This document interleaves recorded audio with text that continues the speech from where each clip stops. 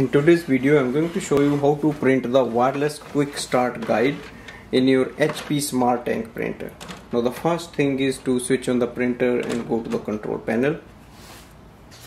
Now to print the Wi-Fi quick start guide press the wireless button once. It will switch off the wireless. Now press the wireless button again and it will send a command for the printer to print the page.